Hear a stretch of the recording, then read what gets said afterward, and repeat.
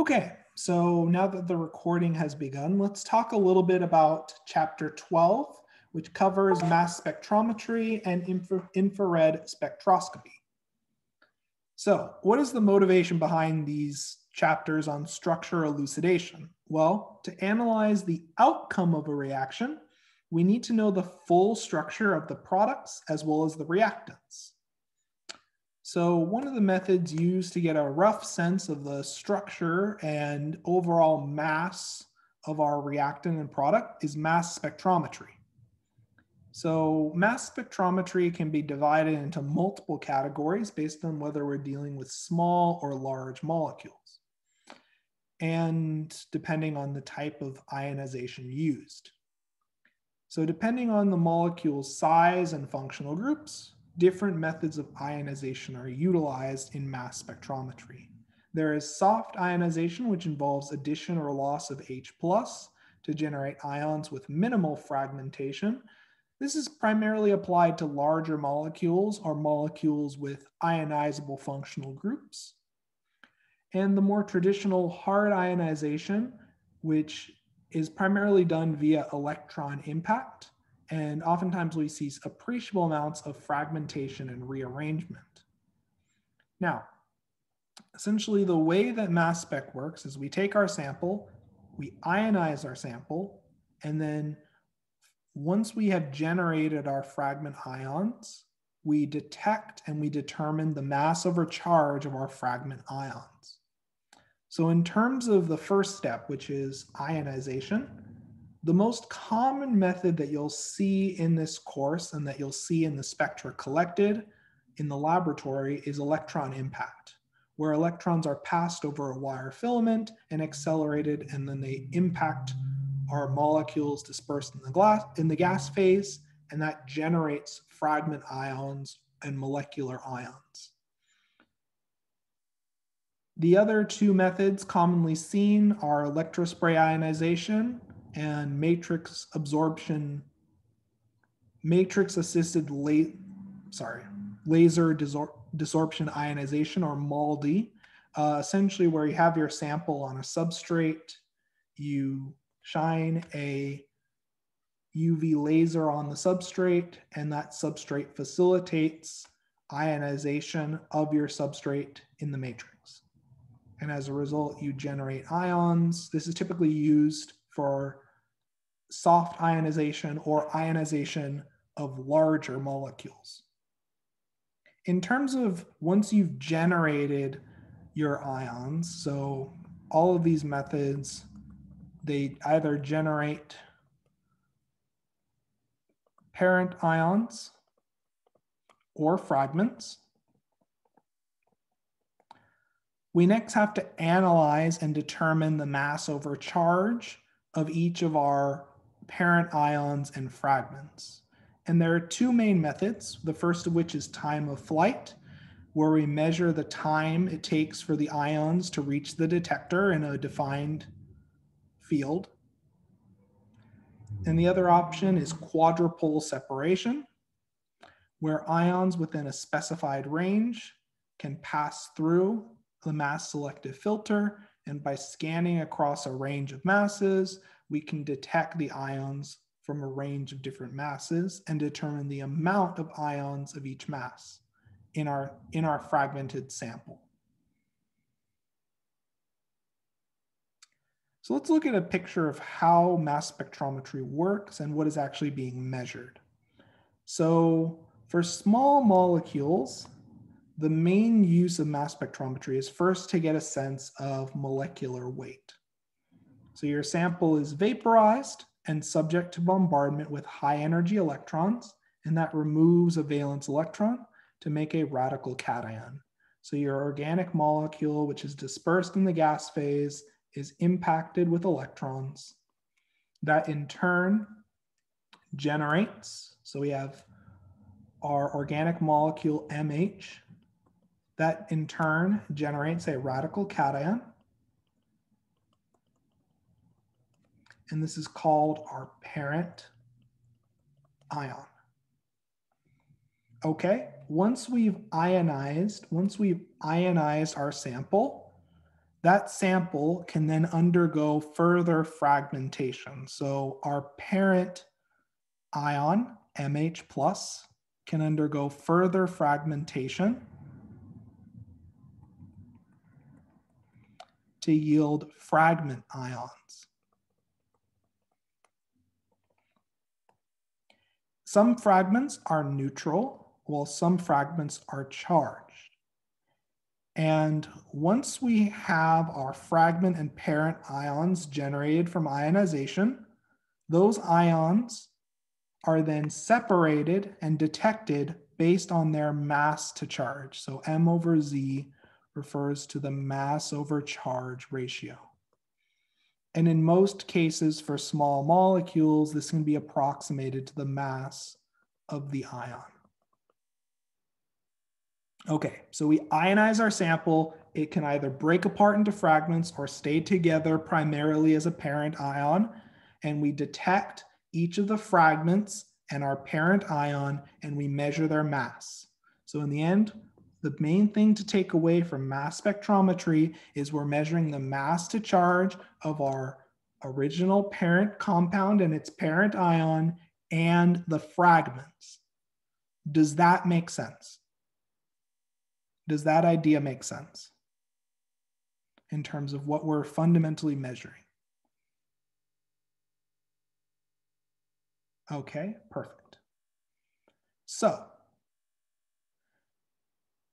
by plotting the mass of ions in terms of mass over charge versus the intensity of the signal, which corresponds to the number of ions detected,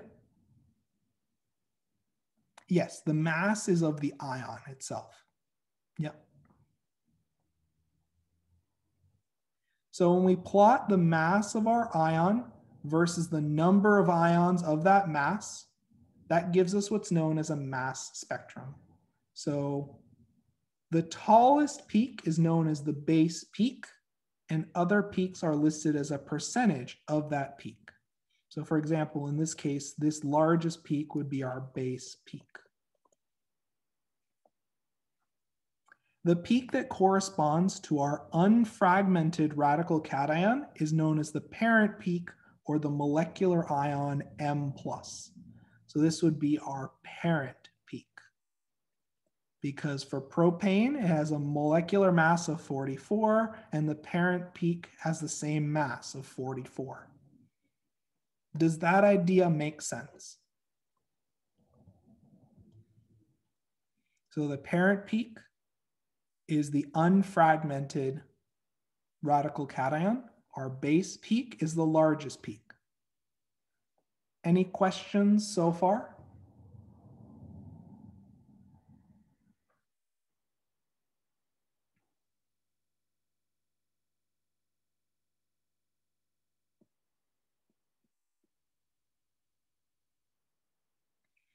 Okay, so in terms of interpreting mass spectra, mass spectra provides us an extremely accurate molar mass of our sample.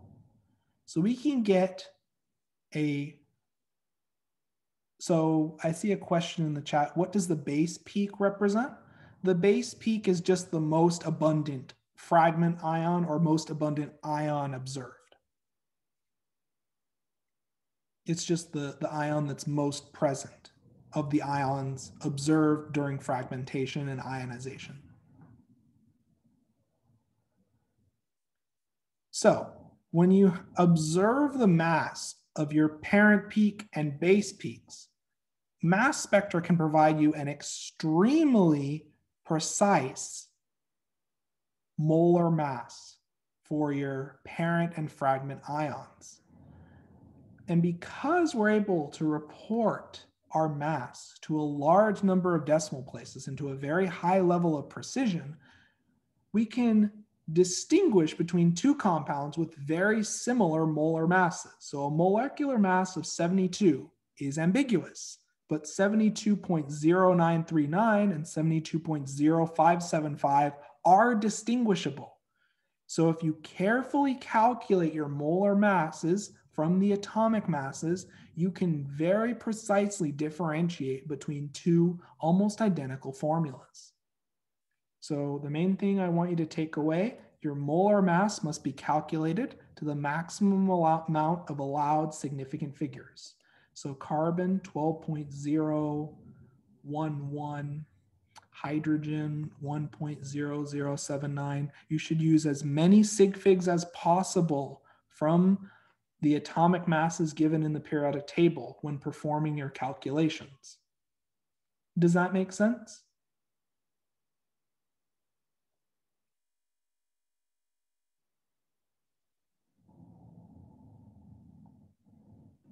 Perfect.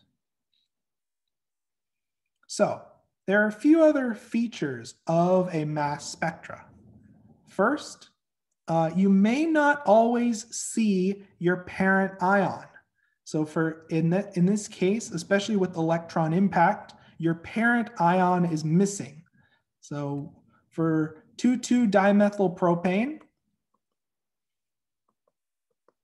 which looks something like this, you do not see your parent ion. Your parent ion is not present. Instead, we see this fragment ion with mass over charge of 57, which corresponds to the following cation. This has the formula of C4H9, which as we notice is 12 times 4 plus 9, which is 57. So under electron impact, you may not see your parent ion. Does that idea make sense? Um, where did you get this the C4H9 formula? Ah, um, so the molar mass of 57 matches a structure with four carbons and nine hydrogens. Because if you add up the molar mass of four carbon atoms and nine hydrogens, you get 57. Oh, so so we have to figure that out ourselves. Yes, and I'll talk more about how to figure out your fragment formula in a moment. Mm-hmm. Okay, thank um, you. Intuitively, you can also think of fragmentation as the breaking of bonds, and the bond that would give a very stable cation would be breaking this carbon-carbon bond, right? Because we have this nice, very stable tertiary carbocation. And that's partially why in this structure you only really see this major fragment ion and you don't see your parent ion. Does that idea make sense? Yeah. So the next thing I want us to focus on, the next thing I want us to pay attention to are these small peaks above the molar mass of our parent ion. These are known as M plus one peaks, and they're the result of carbon 13 present naturally in our sample. And a small percentage of our sample will be enriched in carbon 13, and that's why we see a small percentage of our parent ion peak and all of our peaks for that matter exhibit this tiny M plus one peak. Does everyone see this tiny peak called the M plus one peak? Now, this is important because it can serve as a tool to estimate the number of carbon atoms in our sample. So let's take a look at that. So the first thing we need to think about is how to interpret fragmentation. So the centerpiece of mass spectral analysis is this idea that when molecular ions break down, they will generate characteristic fragments. And in general, the positive charge will go to fragments that best stabilize that charge. So if we had to fragment this, this T-butyl functional group, and we wanted to break one of our bonds, where would we prefer to put the positive charge? On a tertiary carbon or a primary carbon? Which site gives us a more stable carbocation? The tertiary. Yep, exactly right. The tertiary carbocation is very stable. And that is why this T-butyl fragment is often going to be especially pronounced in fragmentation patterns. Stable carbocations generally yield very large fragment peaks. So I want you to impress on impressing this idea that stability of carbocation, the stability of your carbocation is proportional to peak intensity. This is a good guideline to think about and to keep in mind as we start to piece together our structures. Now, the second thing I want you to sort of approach mass, spec mass spectrometry with is this idea that we have known spectra for many, many compounds. And we can often identify compounds by comparison with the literature. Further, if it's an unknown compound, the main goal for mass spectrometry is twofold. One, it gives us the molar mass and the formula. And two, it gives us the approximate structure. And three, it can distinguish between structures. Mass spectrometry alone is often not used sole as the sole source of structural assignment. It's coupled with other methods. But if you're really careful and you're really deliberate with how you analyze a spectra, you can get a very, very close to perfect assignment of the structure. What I'm looking from you, especially in this class, is to be able to use as a tool to get the molar mass and formula and to begin to approximate the structure. There are some cases where you can tell structures apart, and we'll look at a few of those examples in a moment. Does that make sense to everyone, how to approach mass spectrometry and the, the theoretical basis that underpins mass spectrometry? The peak height is based on carbocation stability. Does that make sense? Any questions so far?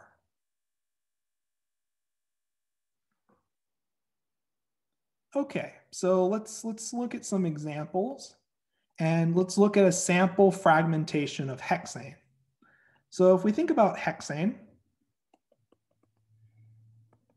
so hexane has six carbons, okay? Hexane has a formula of C6H14. So if we think about C6H14, that gives us a molar mass of 6 times 12 plus 14, and that in turn gives us a molar mass of 86. That's where we see our parent ion with a mass of 86. Does that make sense to everyone so far? Does everyone see where I got 86 from? From the formula and the molar mass. Okay, yes. we see a major peak at 57. This is going to be our base peak. Okay, now when you think about fragmentation, by definition, we are breaking bonds in our molecule. So what you can do is you can think about different places to cut your molecule, different bonds to break, and what fragments you would make. So 57, what for what what what did when we looked at 57 before, we knew it corresponded to a general formula of C4H9 because 12 times 4 plus 9 gives us 57. So this mass of 57 typically corresponds to some form of a butyl group. Likewise, so let's try to cut this molecule in a way that we get a butyl group. Let's try to cut this molecule in a way that we get a butyl group. One, two, three, four, five, six. So let's cut so we end up with a four carbon chain, right? So we end up with our butyl cation, which has the formula C4H9 and a mass over charge of 57. Does that make sense? Does everyone see where from this formula we get 57? And does everyone see that we can get a butyl side chain by cutting and breaking this bond? Does that make sense? Now, my question to you is what's left over? What, what, what's left over when we break this bond? What group is left over? Methyl group? Uh, Methyl or ethyl? Oh, methyl. Sorry, is that M or E? Uh, one or two carbons? Oh, two, two carbons. Two. Yep. So we have an ethyl cation, and this has a formula of C2H5. Now, this is maybe a good time to break out your calculators, and I'd like you to tell me what is the mass to charge of this ethyl cation? What is the mass of this ethyl cation? In other words, 29, exactly, because we have 12 times 2 plus 5, and that gives us 29. So from our original, from our original parent ion with a mass over charge of 86, we broke a bond and fragmented it into two fragment ions. Now, do you notice how if you add up 29 and 57, if you add up the masses found in these two peaks, you end up getting, so 57 plus 29, you end up getting 86. I call these related fragments. If two fragments can be put together to get back to your parent ion, that is really important to look for in mass spectrometry because it can help you get a sense of how these bonds are connected and which fragments are connected to each other. Does everyone see how if we put these two fragments back together, we go back to our parent ion? Does everyone see how we broke a bond, we got some fragments, we can just as easily put them back together? Now, you may ask, where do we get this 43 from? Well, if we have a six carbon chain, we can also cut it. We can also generally cut it straight down the middle, right? And that would give us two propyl fragments of the formula C3H7. What is the mass to charge of this propyl fragment?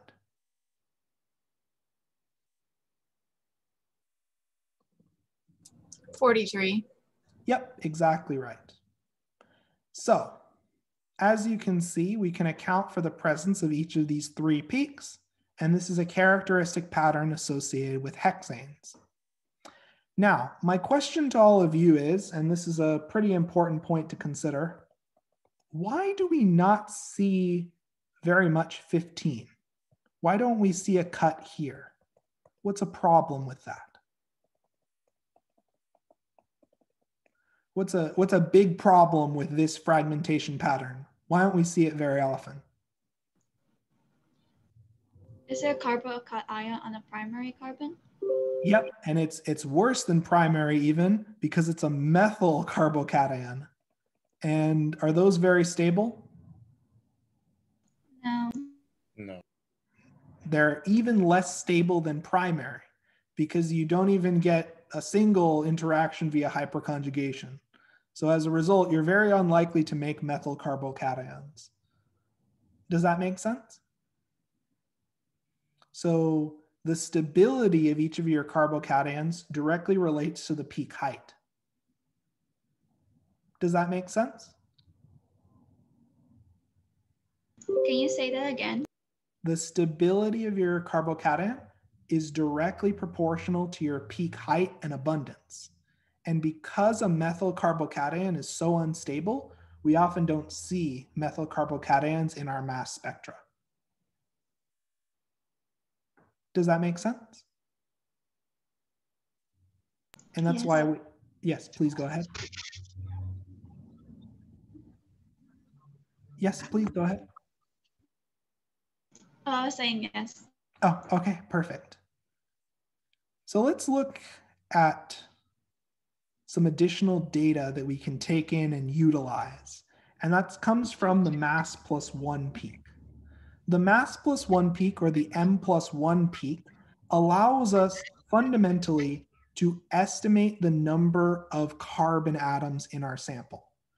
So The M plus one peak comes from carbon 13 or deuterium that is randomly present in our sample. and again, don't be shy if you have a question to unmute or if you have any comment to unmute. I have a question. Yes. So, um, how did you calculate the M to um Z ratio? Ah, the mass to charge ratio, it's just calculating the molar mass. So if we Yeah. have three carbons, It's- it would be 12 times three. And if we have seven hydrogens, we add seven. Yeah, We have it's 30 forty, Yep. mhm, Exactly right. and then and then the charge would be just one plus two. Oh, just one. Okay. Because we look at each fragment individually. Oh, each fragment. Okay. Yep. All right. Thank Most you. cases, For small molecules, mass to charge is equivalent to the mass of the fragment. Okay. Thank you. Does that make sense? Yes. Perfect. So when, when you look at any set of peaks, especially your parent ion peak, the mass plus one peak comes from carbon 13 that's randomly present in your sample. And carbon 13 is roughly 1.1% of all carbon atoms in nature. Thankfully, for that matter, or make other spectroscopic methods really problematic. Um, you would expect to see an M plus one peak, roughly 1.1% the size of the parent peak for a one carbon molecule. Now, the more carbons we have, the more potential abundance of carbon 13 we can have, right? So for each carbon in our molecule, the M plus one peak increases in height. So the mass plus one peak height is proportional to the number of carbon atoms times 1.1%. So for example, decane, which has 10 carbons, would have an M plus one peak percent equal to 10 times 1.1, which gives us approximately 11%. So for decane, we'd see our main peak, our parent peak, and we'd see the M plus one peak, which is roughly 11% of the height. So based on the height of the M plus one peak, we can estimate the number of carbon atoms. Does that make sense to everyone? Does that idea make sense?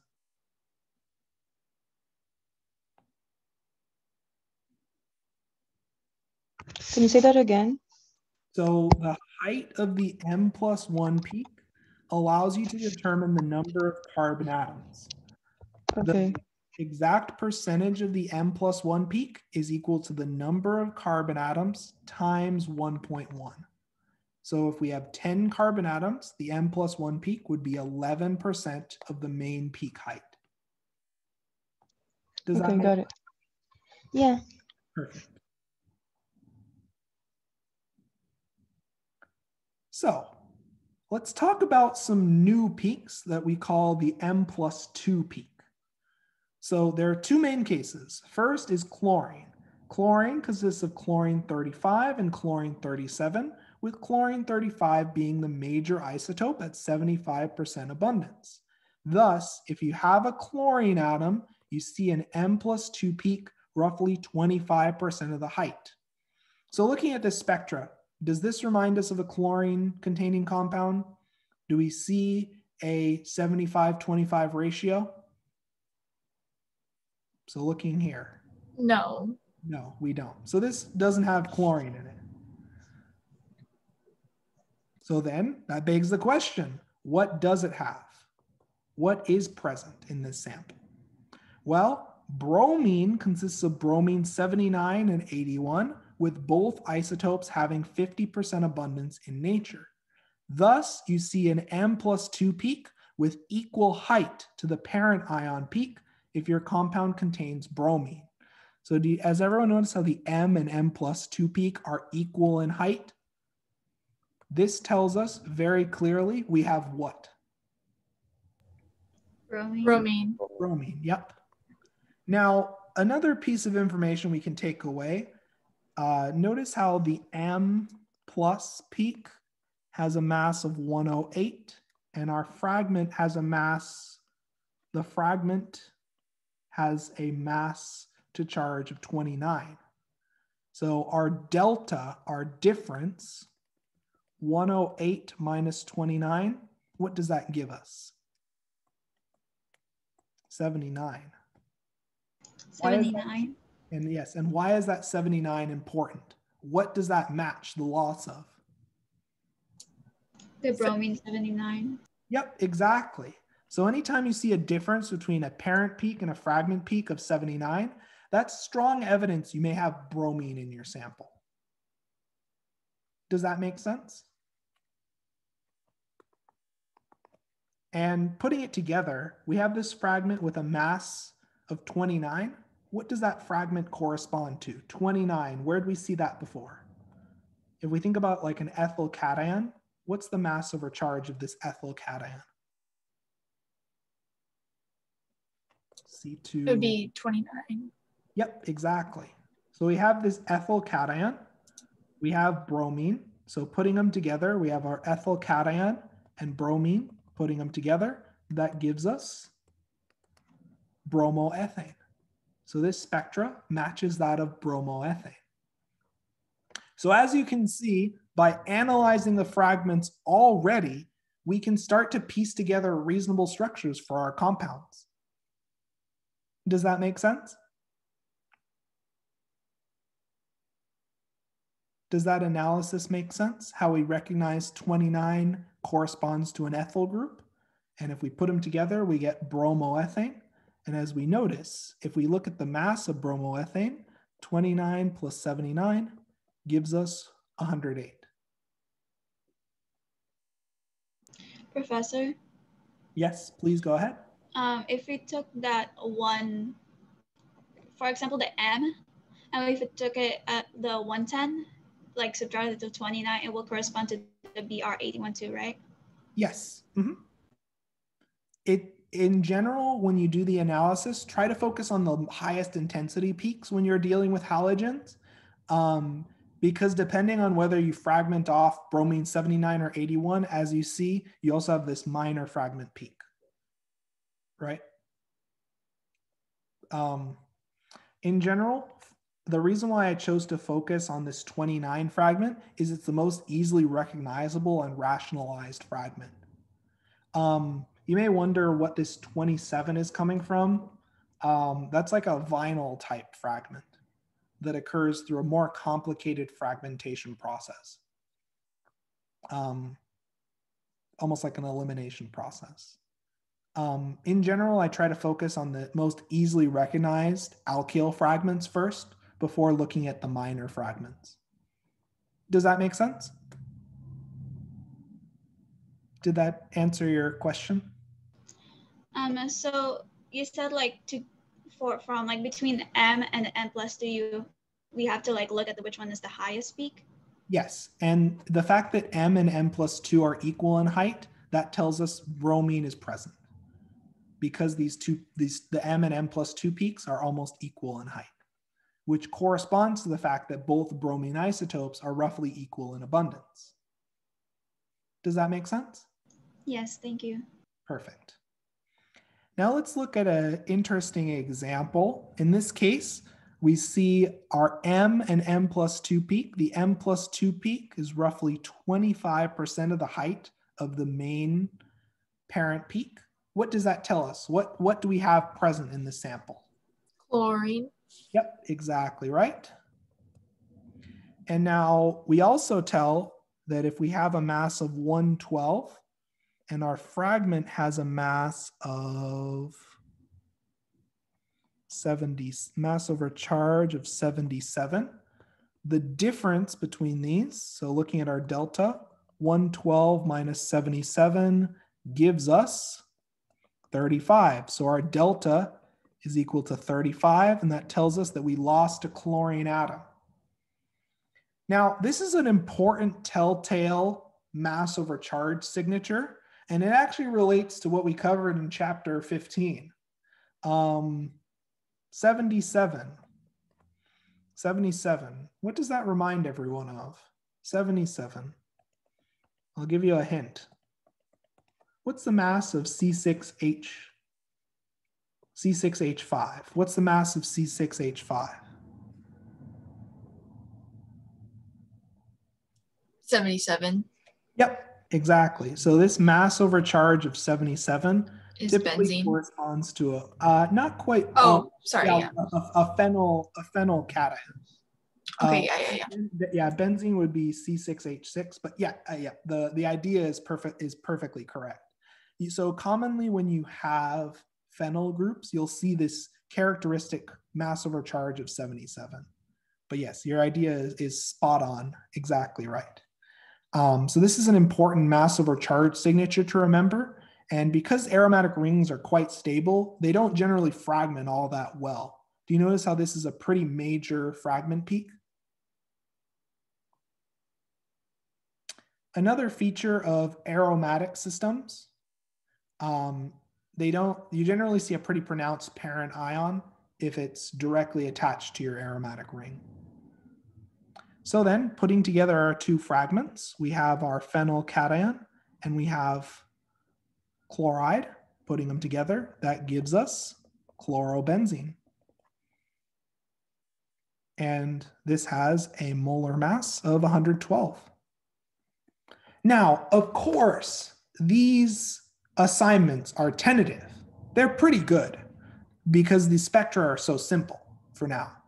When you get to more complicated spectra, then so there, then there's some ambiguity, and we often have to rely on additional structural tests. Um, but for these compounds, since they only have they only have two carbons or they have very defined ring structures, it's pretty easy to assign a tentative arrangement of atoms. Does that make sense? Did that answer the question in the chat? Generally, it's prudent to do more tests, but we've been able to get a lot of information from what we're presented with already. Does that make sense to everyone so far? Um, I'm, I'm confused on where you got the chlorine when you first looked at the diagram. Ah, so remember how chlorine 35 and chlorine 37? Chlorine 35 is major at 75% and chlorine 37 is minor. Do you notice how the minor M plus 2 peak is roughly a quarter of the height of the ma- main peak? Yeah, yeah. This signature, where the M plus 2 peak is a quarter of the height, tells us Uh-huh. immediately we have a chlorine in our sample. Oh, okay. So if it looks like it's it's about a quarter of the of the M height, it's it's chlorine. Okay. Yep. Okay. or at least one chlorine is present. That's the that's the better way of phrasing it. And you can also verify that by the fact you'll see this characteristic spacing equal to the mass of chlorine. Right? We lose a chlorine, we lose 35 from our parent mass. So if there was more than one chlorine present, You'd see would it be hmm. indicated as like a higher mass or higher separation, or would it be two different separations? you'd see two different separations and also this peak height ratio would get a little bit it'll, it'll look a little bit different because Okay.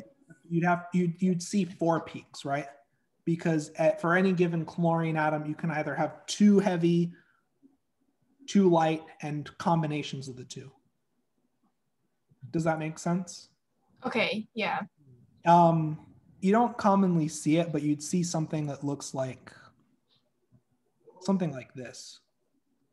And the- Oh, okay. Yeah, because you'd have like light, light and heavy, heavy, heavy, light, light. And I'm not sure the exact ratio. Um, if you have multiple chlorines, you'd still see something that looks very close to this pattern. And that would be a sign. I have one chlorine, but if you see multiple steps, multiple losses of chlorine, that's a good signpost to say there may be multiple chlorines here, and we can clearly see that via the loss of chlorine in our mass spectra. Does that Okay. make sense? Yes, thank you. Any other questions on this?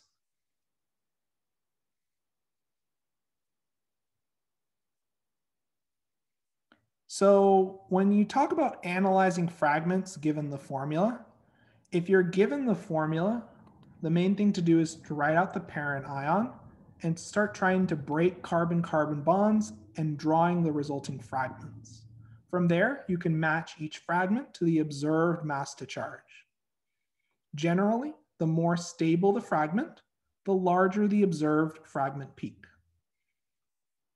Now, if you aren't given a lot of detail on the formula, it's often best to approach what is known as the retrosynthetic approach, where first you find the parent ion and you determine the mass to charge of your fragment ions. Next, you form a bond between two fragments to give a larger fragment, and you check to see if your new fragment mass to charge is observed. You then repeat this process of sticking your fragments together until the parent mass over charge is observed. Now, I've made some space in the notes for you to include some common fragment masses. I put a few here to start your organizational structure. Uh, we noted a few more. So we know C6H5 has a mass over charge of 77. And I really want you to use this section in the notes to add things that you encounter. Um, does anyone have any suggestions for us to add to this table? Any other common fragment masses that we encountered that we'd like to include? Any common fragments that we saw that we want to note just for our reference? I was gonna say 43. Yep. But I think that's what you just wrote. Yep. Okay, yeah. Uh, what else?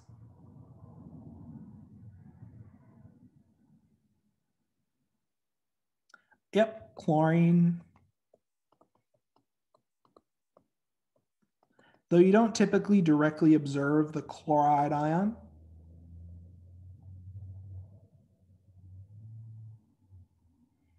Yep, chlorine, bromine.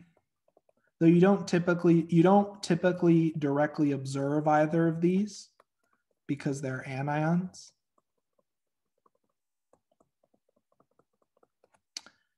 Um, what about like a like a butyl fragment? What's a butyl cation?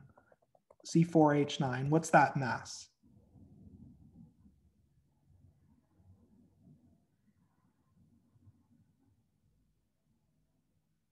Fifty-seven. Yep. So you can feel free to add to this table as we continue to solve problems.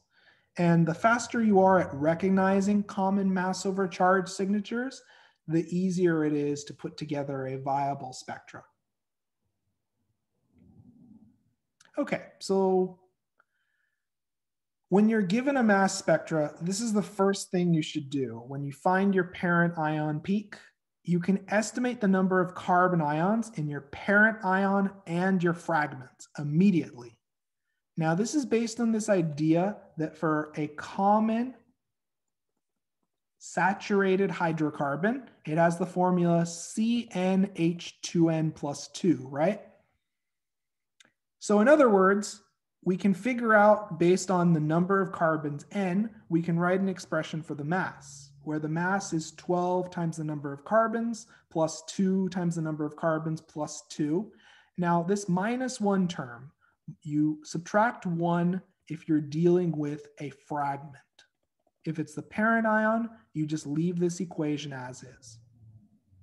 So only include this minus 1 term if you're dealing with a fragment. Um, just to show an example of this, so C3H8 is a common formula for propane, right? And what is the molar mass of propane? What is the mass of propane? Just uh, 44. so we have 12 times 3 plus 8. So that gives us, yep, 44. Yeah. If we're dealing with a propyl fragment, however, we subtract 1 and that gives us 43. Now, to show how this to show how this is obtained using this formula here, so our mass in this case would be 12 times the number of carbons, which is 3, plus 2 times the number of carbons, which is 3, plus 2, which gives us 44.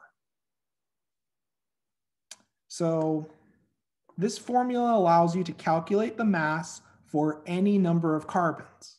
And from this, you can match your observed mass to the mass calculated for the number of carbons using this formula. You can also solve it algebraically for that matter. Does that make sense to everyone so far? And I guess if you wanted to, to solve it algebraically, the number of carbons would just be the mass minus 2 over 14.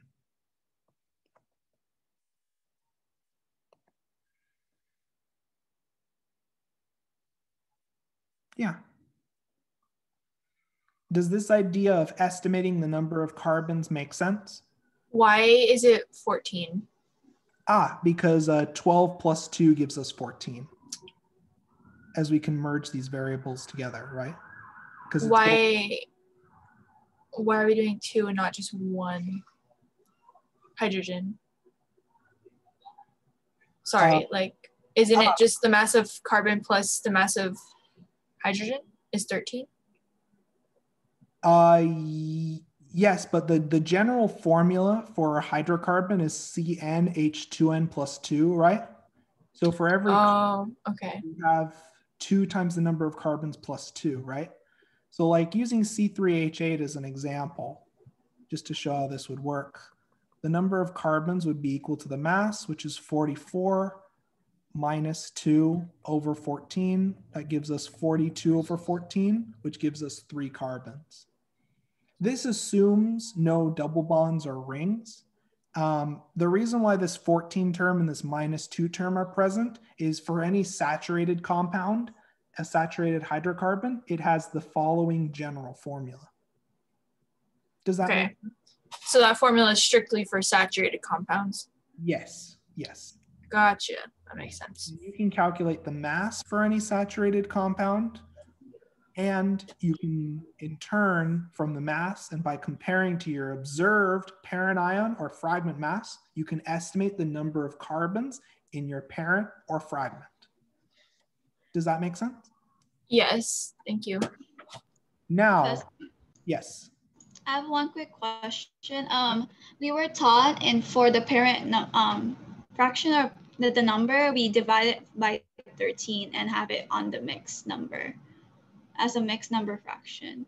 Is there any way that it's not applicable? Like, is there any circumstances that it's not applicable? Divide by 13 and use a, frac- a fraction. So we would take the highest M peak, and then if there was chlorine or bromine present, we would subtract 35, and then we would divide that number by 13. And then whatever we would get, like the mixed number fraction you have right there, like the whole number would be the number of carbons, and then the number over 13 would be the number of hydrogens. Oh, I guess that works. Um, yeah, I can't I can't see a reason why it wouldn't if if it if, if it was done with a variety of, of, examples. Sure, that's that I can't think of a I can't see a case where I would run into problems. Uh, the reason why I use this method is because it handles also un, unsaturated compounds as well. Um, and for that, uh, this is a good lead into this next idea. If your mass is two, four, six, eight, or a multiple of two less than the saturated chain mass, then you can calculate the du by taking the saturated mass minus the observed mass. So suppose you're, you're given a molar mass or a mass over charge of your parent ion of 40.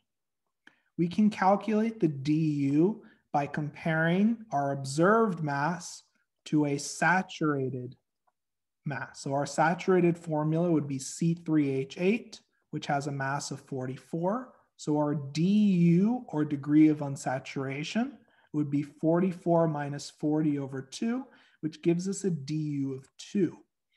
That tells us we have four less, that tells us we have four less hydrogen. So we'd have a formula of C3 H4, and that tells us we have two double bonds or a ring present in some combination. Does this idea of calculating du using this, the observed mass and the calculated saturated mass make sense? I'm so sorry. Could you explain where you got the 40 from?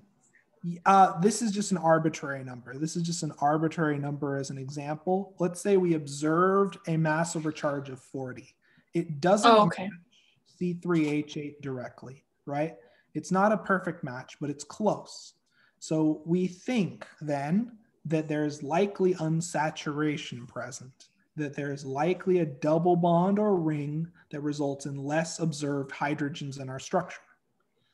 From that, we can figure out the du by taking the saturated mass minus the observed mass that we see for our parent ion divided by 2. That gives us a du of 2, and that tells us we have a formula of C3H4. Does that make sense?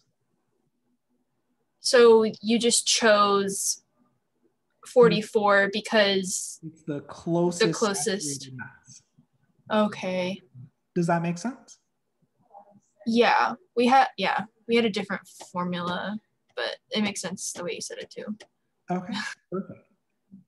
So then now that we have approximate formulas for our parent ion and fragments, we draw a carbon skeleton for each fragment and parent ion, and we check the fragment ions are stable as predicted for major fragment ions. Remember, peak intensity is proportional to cation stability. So you have to make sure that your assignments are reasonable with that in mind. So let's look at a practical example. Now, here's the part where I just want to preface this where if you see something like this on an exam, I'm not going to expect you to get a perfect structural assignment. What I am going to expect is coupled with other information, you should be able to narrow down a list of plausible structures. And then the more information I provide, the more accurate your structure should become. So looking at this case, um, this is a little bit of a tricky example actually. Um, and let's talk about the kind of analysis that I'd want to see from you on an exam and the kind of analysis you should do when you're looking at a spectra for the first time in lab. So first, we know this compound does not have a ring and it may have a double bond. Okay. So with that in mind, what's the first thing we look for? What, what have I been emphasizing throughout? What's the first thing we focus on? Parent ion. Parent ion, exactly right. So this gives us a mass to charge of 98. Okay, so 98. So using, using our estimation, we know that if we had seven carbons, for example, that would have a mass of 6 times 12 plus 2 times 12 plus 2, 72. Oh, whoops. Sorry, I'm getting ahead of myself here. 7 times 12 plus 7 times 2. Remember, we plug in the number of carbons into our formula. That gives us an estimated mass of 84, 98, 100. So C7H16, which is our saturated compound, has a formula has, has a formula of C7H16 and a mass of 100. 98 is pretty close to that, right? Does everyone see how it's how this mass over charge of 98 is pretty close to 100, which matches C7H16? Does everyone see that parallel? So, Professor, um, how did you get 7C? Like, how did you know it was going to have seven carbons? Oh, I just I, I I guessed. If you guessed six, for example, you'd get Yeah. six times 12 plus two times six plus two, and you would get 72, 84, 86. Okay. And if you guessed eight carbons, you'd have eight times 12 plus two times eight plus two. So we'd have Okay. six plus 16, which gives us 114. So as we see, of these potential carbon counts, seven carbons is the closest match. Oh, that- okay. I see now. Yeah. It's closest to 98. Yep. And then from that, we can calculate the du by taking 100 minus 98 over 2, and that gives us a du of 1. That tells us we have two less hydrogens and one double bond or a ring. So we have a tentative formula of C7H14. Does everyone get that first step? Does that first step where we figured out our formula make sense? Any questions? So you just subtracted two hydrogens? Yep, because a du of one tells us we have two hydrogens less. Oh, okay, yeah. And you can also tell that by because the difference in masses is the amount of hydrogens missing for a hydrocarbon. And since our difference is two, we've lost two, we've lost two hydrogens. You can also verify that because the mass of C7H14 directly matches 98. Does that make sense? I did it a slight, Oh yes, please go ahead. I did it a slightly different way. I did it using your estimated number of carbons formula that you came up Yep. with earlier. Yep. And I just I got seven carbons and then from there I I I subtracted the mass of uh, the seven carbons and then from the M plus peak, the parent peak, Yep. and I got 14 hydrogens and I got C7H14. Yep. That, that that's also perfectly That's my method of getting there. If, if you use the formula, if it, if your compound has unsaturation, the number may be slightly off. Um, so the, the but the formula does work to give you the the the closest number of carbons, which in, which is seven. Um, so both methods do work.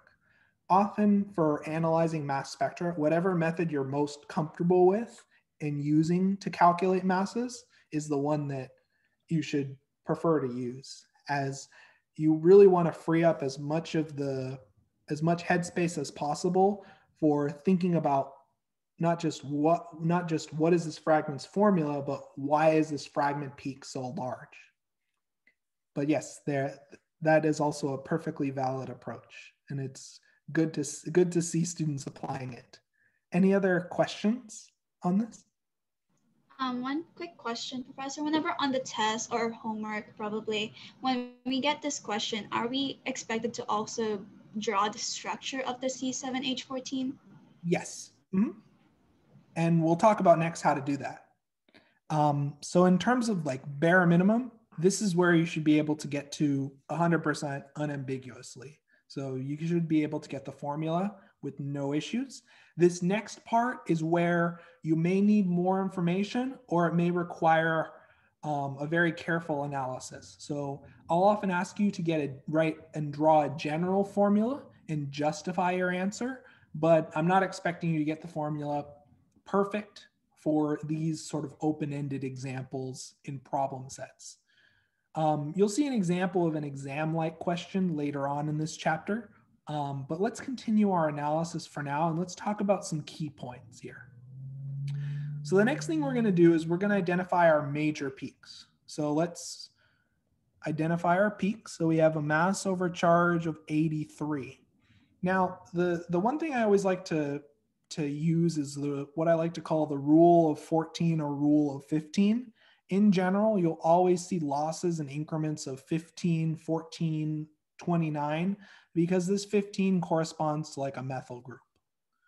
Um, so often you'll see your peaks divided by 14, 15, or 29 because you can lose methyl, ethyl, etc. Okay, we see a giant peak with a mass over charge of 69. Um, that's a bit unusual. That should already be a red flag. Um, next, we see two peaks, one of which has a mass over charge of 56 and a mass over charge of 55. And then we see a peak with a mass over charge of 41 and a peak with a mass over charge of 29. Okay, so uh, our first order of business is to identify our, we've identified our parent peak and we have our base peak, okay? Our base peak is our most stable, most abundant ion. Now, my question to all of you is this mass over charge of 69 is related to what other peak? What is a connected or related peak?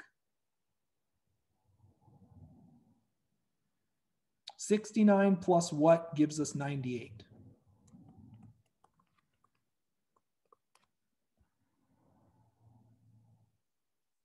The 29 peak. 29, yep. So then I'm going to circle these two peaks. These are known as related peaks. Another thing that I'd like you to note, we see this mass over charge of 27, which we previously identified as, as like a vinyl cation of some sort. Mass over charge 29, do we know what that is? Mass over charge 29, does that look familiar to us? What is that? That is the ethyl Yep. cation. Yep. Okay.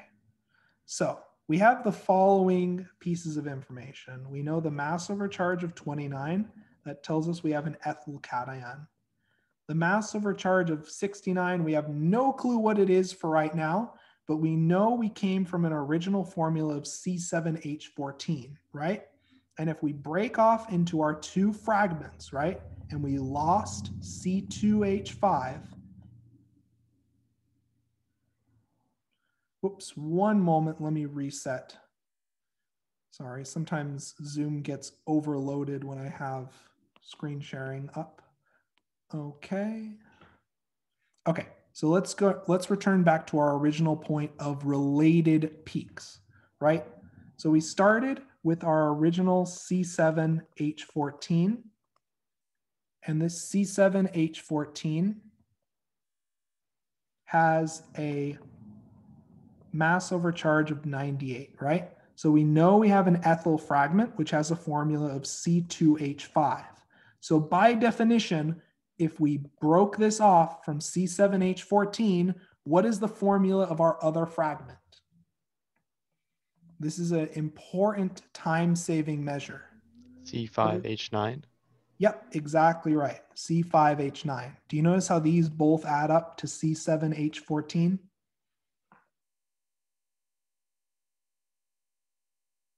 So then, C5H9. Let's think about this.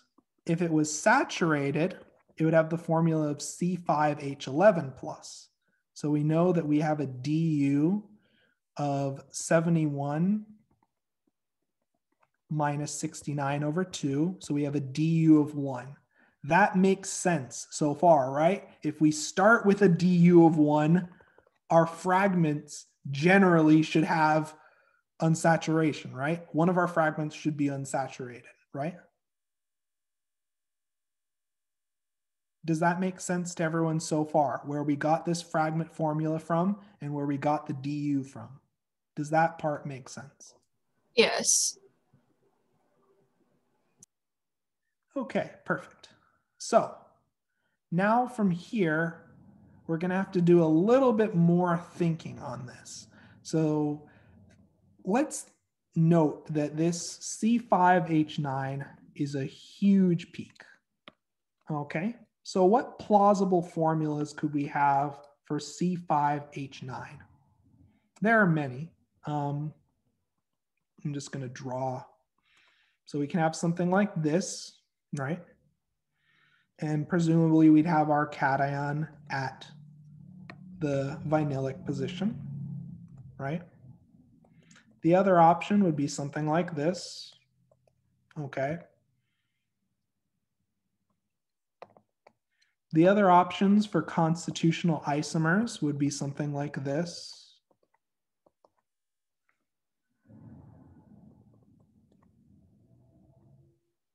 And of course, you can have your cation at any of these three positions. Okay. So the next question that we have to deal with is looking at these cations, is there any particular cation that stands out in terms of stability? Is there any particular cation that stands out in terms of stability?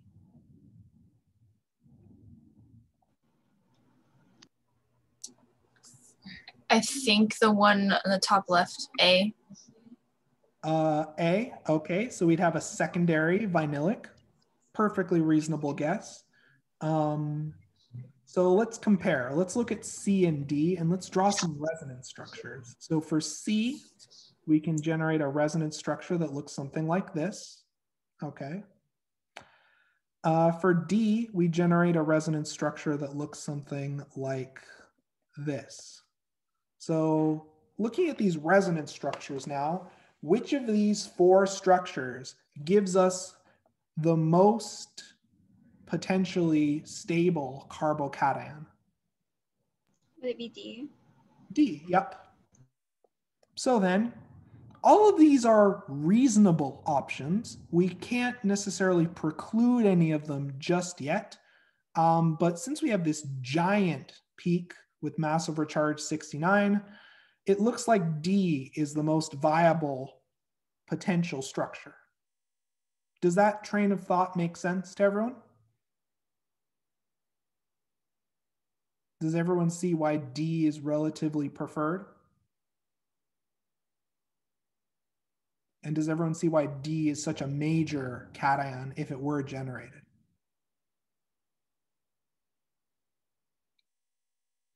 Okay, so continuing on, so we know that we have a formula of C7H14.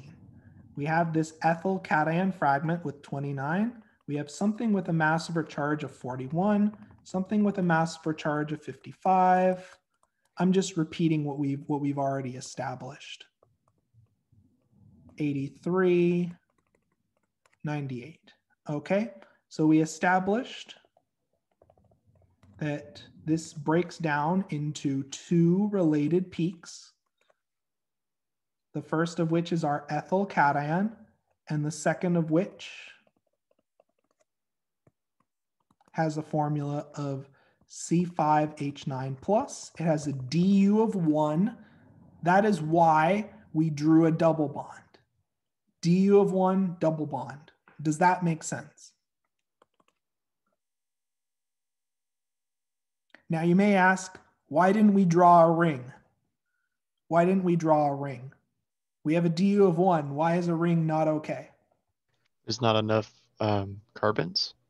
Uh, let's let's focus with the the the sim. You can draw a ring with the number of carbons you have, but looking at the problem, what does it tell us?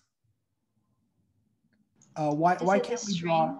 It says it doesn't have a ring. Yeah, the, the compound doesn't have a ring. So this is just an important idea to bring up in that the problem constraints should always be considered when you're working through. Um, because oftentimes then you can run into issues where you're drawing a billion structures when in reality the problem has been designed in a way where less structures are possible. Does that make sense to everyone? Always something to keep in mind, especially on exams. If a question seems tricky, um, make sure to check that there isn't a hint or further instruction. Okay, so C5H9, we have a range of viable structures, and we really thought this structure looked good. Okay, so now that we have our two fragment pieces, now that we have our two fragment pieces, all we have to do is join our fragments together.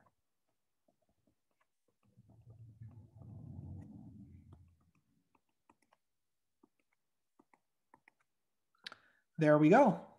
Uh, whoops, whoops, not quite. There we go. Perfect. So this gives us something with a formula of C7H14. Now, are we done? Are we done? Have we fully explored this spectra? Does this look like a reasonable guess? I guess is another way of phrasing it. Does this look like a reasonable guess to everyone? Yeah. Yeah, yeah, this would be perfectly okay. Um, let's let's investigate this 41 and 55. Let's try to investigate these peaks and figure out where they're coming from. So the next largest peak has a mass over charge of 41. So off of our peak with a mass over charge of 69. Uh, this is a loss of 28. So a loss of 28 or a difference of 28 looks like we're losing some sort of ethyl group, maybe not quite an ethyl group. C2H5. It looks like we're losing C2H4, which looks like loss of like a vinyl group or something. Okay. So, okay, if we lost a vinyl group, it's not unreasonable. That explains why we see this vinyl group over here.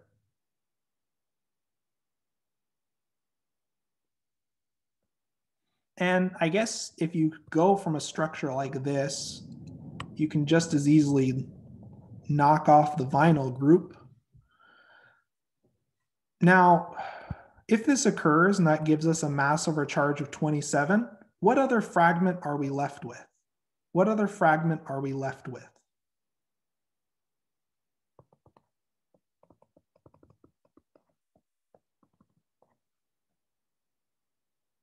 So this is an important follow-up process. If we break off this vinyl group, what fragment are we left with? 29 or wait. Uh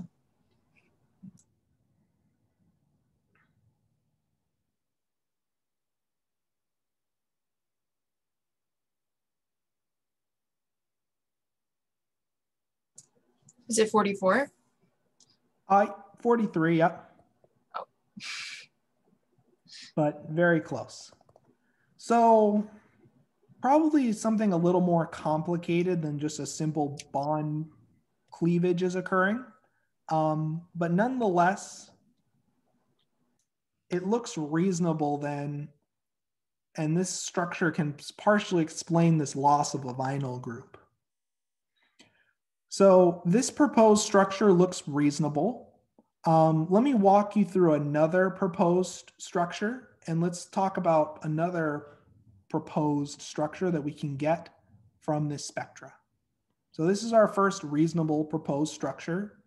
The bond breaking steps make sense. The cation stability makes sense for re the reasons why each, each corresponding peak is so large or small. Um, let's look at another proposed spectra. Let's look at another proposed structure for this spectra. So for C7H14, this ethyl group is a pretty big signpost. So we know that we have a C2H5 fragment, and we know we have some fragment of the form C5H9 with a mass over charge of 69. That fragment then breaks apart. That fragment then breaks apart into something with a mass over charge of 55 and something with a mass over charge of 41. Okay, so thinking about it, we are losing a methylene group each time, right? We're losing a methylene group each time during this process. So C5H9, we definitely have an alkene and we have an ethyl group connected, and we want a pretty stable carbocation. We want a pretty stable carbocation. So then I'm going to draw my carbocation and I'm going to put two methyl groups there. So in this case, looking at this proposed fragment, looking at this proposed fragment, it's very similar to our original fragment, correct? Do these two fragments look similar?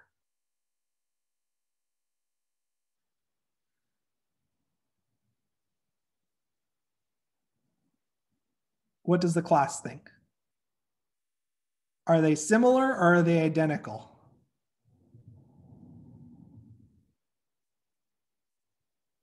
They're resonance structures, exactly. So we can think about another way that our bonds are arranged.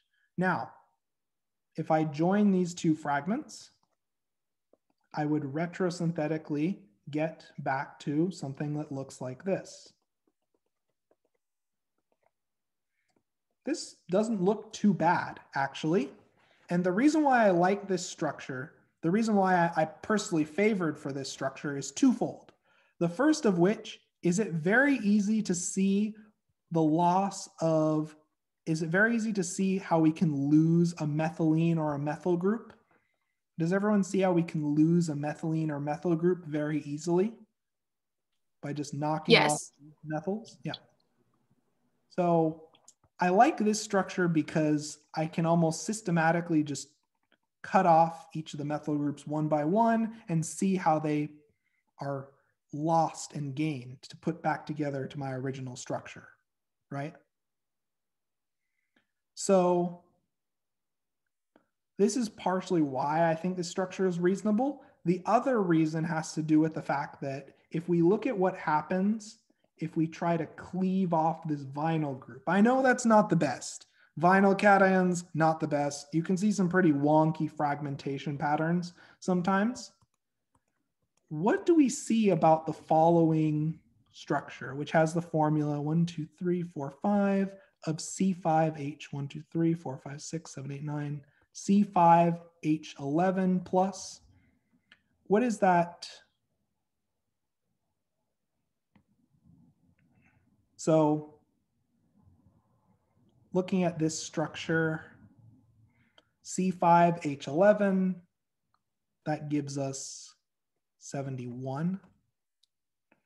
So one strike against this structure is that we don't really see a large peak at 71. So that would call into question what's going on with this structure. We may not see this exact fragmentation. Um, the other potential problem with this structure is that if we lobbed off a methyl group and we generated this cation, this cation is pretty stable. And this cation has a mass to charge of 83. So because these two peaks are small or not present, this structure I'd put a question mark next to. It's not bad. It's not a bad assignment, but it clearly has some flaws. So does that kind of analysis make sense in terms of considering your options and thinking about which structure is best? Does that idea make sense? Where you break down your fragment, once you have your molecule, start cutting bonds and seeing, do these mass over charge fragments show up in your spectra? Are they large? Are they small? Are they present? Are they not present? Because it's very hard to defend a structural assignment if these large characteristic peaks are not present. Does that make sense to everyone? Does that idea make sense? Perfect. So we have a list of options and you wouldn't be faulted for putting this on an exam. It wouldn't get, it would get most of the points depending on how the question was phrased. Um, but you, but there are clearly better structures. And the point is not get the perfect structure exactly. It's explain to me why you think your structure is correct and be able to justify it. Okay, so let's look at this example. It's almost like you're seeing an identical spectra. Is this the same spectrum?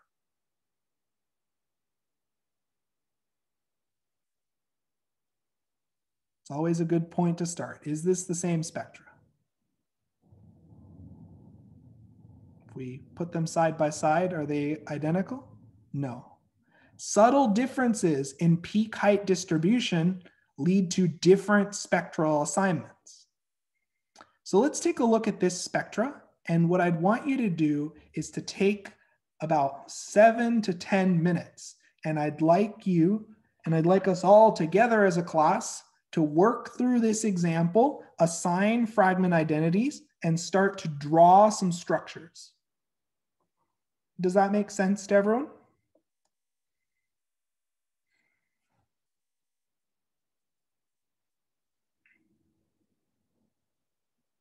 Perfect. So let's start by trying to get some structure assignments, some fragment formulas, some identified fragments, and some drawings. This is one part of the analysis that you would have to do on a question on the exam. This is not an end all be all. You won't be able to necessarily get a perfect structure from this, but you can get a very good set of plausible structures. And that's the goal here.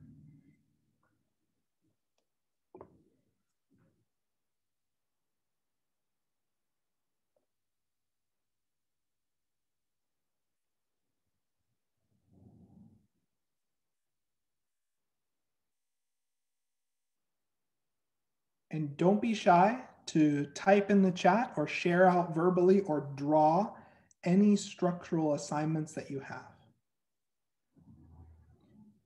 The first place that you may want to start is to look at your parent ion and tell me what is the formula of this parent ion?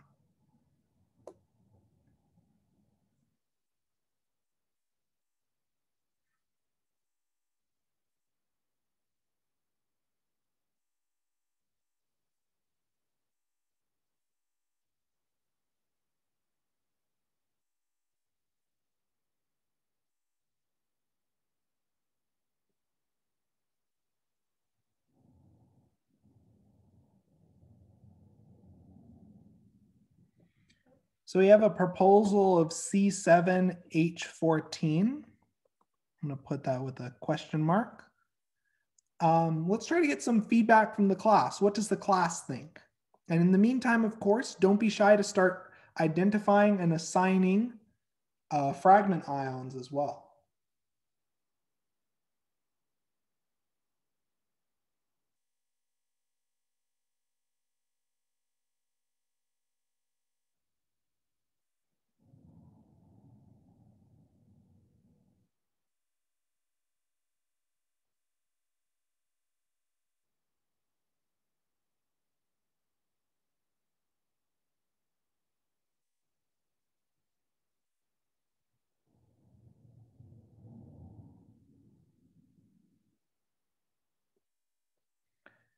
So we have some proposals, C7H14 and C8H16. So let's talk about this together as a class. So we see this, what is the parent ion mass to charge? What is the parent ion mass to charge? 98. 98. Okay. And we know that C7H16 has a mass over charge of roughly 100. So then, a mass over charge of 98, that suggests a DU of 1 and a formula of C7H14. You can also use the carbon estimation formula by taking 98 minus 2 over 14. That gives us 96 over 14, which is approximately 7. Does that idea make sense? Does this formula assignment make sense? Any questions on this? Um, I just don't understand how like we can draw the most suitable structure that's like correct when it comes to like the test. Ah, so in terms of the most suitable structure, the cation stability should directly match and should directly be proportional to the peak size and intensity. Does that make sense? Okay, so um, we're just gonna pick the most stable structure of of C714. So And then the- it's not necessarily the most stable structure of this, but you want to look at looking at, for example, this fragment ion with a mass over charge of 55, right? So Mhm. because it's such a large peak, your goal should be to draw this fragment as having a very stable carbocation.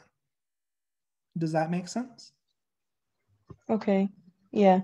And I just want to emphasize again your goal is not to get a perfect structure, but to be able to justify your structure. And in general, the more stable your fragment cations, the larger your fragment peaks will be. Does that make sense? So it won't be, uh, per- it won't be a perfect match. It'll be, you just want to have some reasonable options. Okay. Okay. Perfect. So let's try to assign these fragments. And I'd like both the fragment mass to charge, and if you have a proposed formula, I'd love to hear that as well.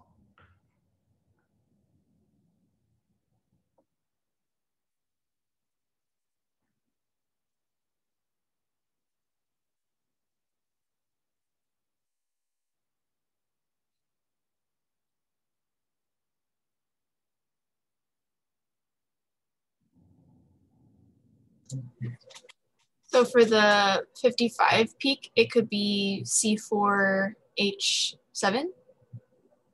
Yes, that's perfectly reasonable. Yeah. So we have a proposed formula of C4H7. Okay. Does anyone have other assignments? Or does anyone have any proposed structures that they'd like to draw for any of these fragments? The first starting point for all this is just getting some approximate formulas in place. Once you have the formulas, you can build on it from there. And remember, we have a DU of one, so there are double bonds or rings in our molecule. And I'll give you a hint, there is most likely a double bond.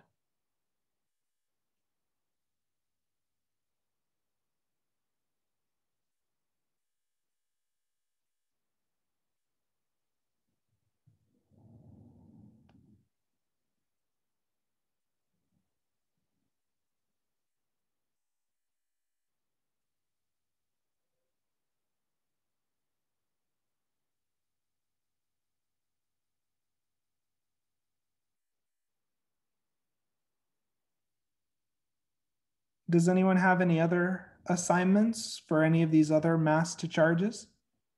Don't be shy to consult your table or the previous problems or to use our formula estimation equation.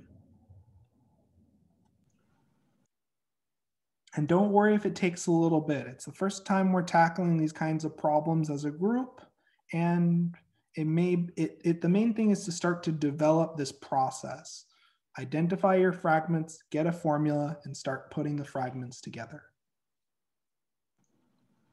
Can the 27th peak be C2H3?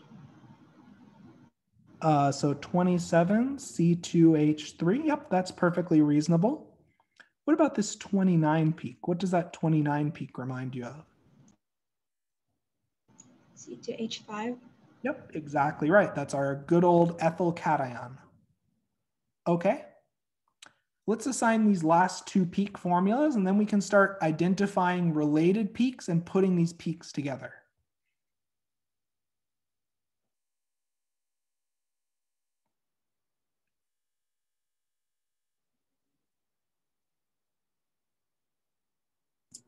So the 41 Yep, could be C3H5.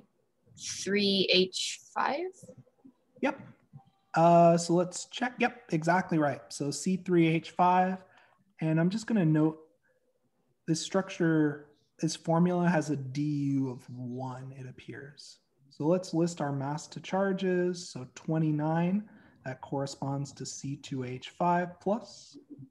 Our mass over charge of 27, C2H3 plus. We know that our saturated formula is C2H5, so our DU is equal to one. Okay, we're making progress. The mass over charge of 41, C3H5. We know that the saturated formula is C3H7 plus. Remember, CnH2n plus 2 is your typical saturated formula. And so as a result, we see this formula has a DU of 1. Okay, we're, we're almost there. We're identifying each of the fragments and their DU. Um, one more, 55. So mass over charge of 55. That gives us C4H7 plus. What do we think about C4H7? what's the value for its du? Let's just make sure everyone understands what we're talking about here. C4H7, does it have any unsaturation?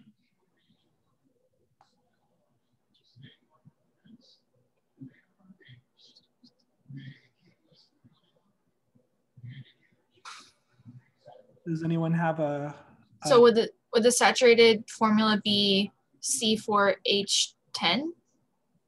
uh, H9, but uh, C4H10 C4H10 is Oh, oh, right, right. With yeah, but C4H9 is for the cation. the cation. Okay, perfect. You are correct. And that gives us a du of 57 minus 55 over 2, or a du of 1. So we see a lot of fragments that have an alkene. Okay. Let's assign our last fragment, this mass over charge of 69, which is very small compared to the, the base peak. So what did we figure out last time we encountered this mass over charge signature? What does that tell us?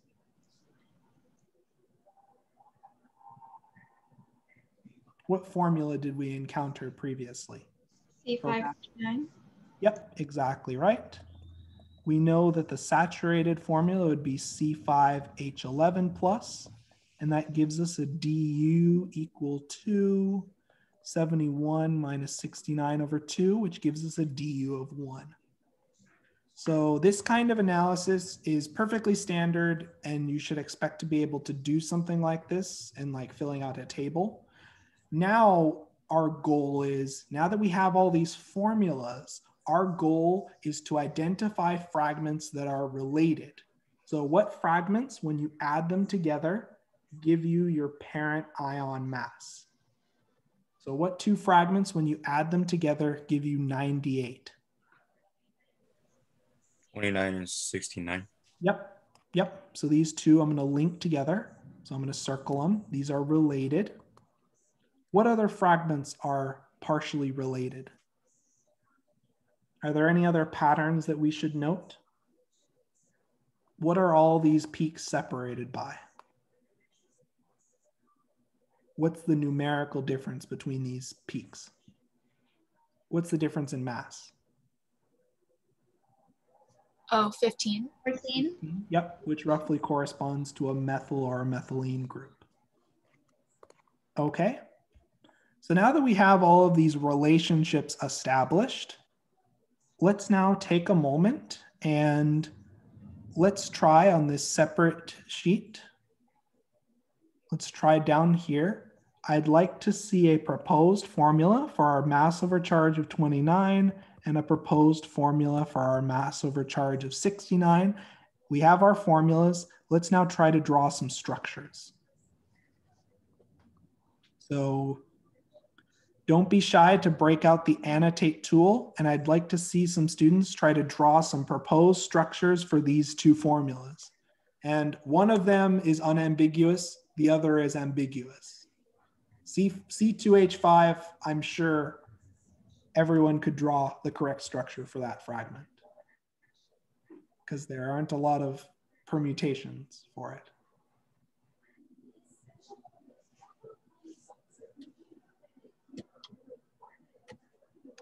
And don't be shy to break out the annotate tool. You can also write the name of the formula in the chat and I'd be happy to transcribe it for you.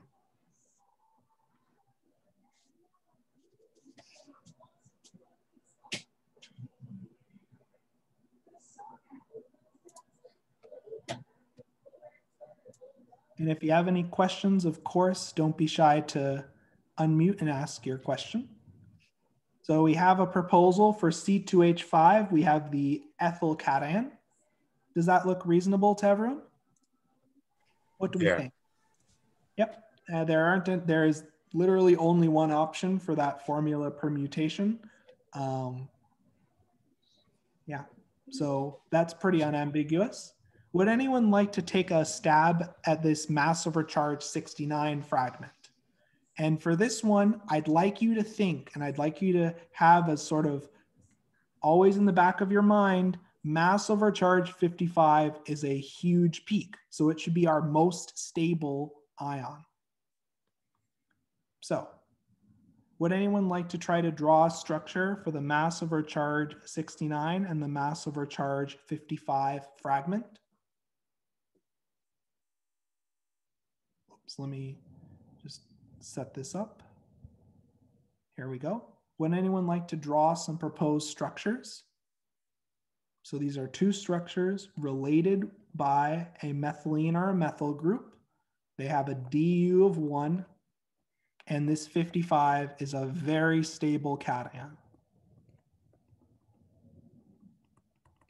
Would anyone like to take a guess? And the more varied options we have, the better. Because this is this is sort of illustrating how you may not get the exact structure, but you can get close.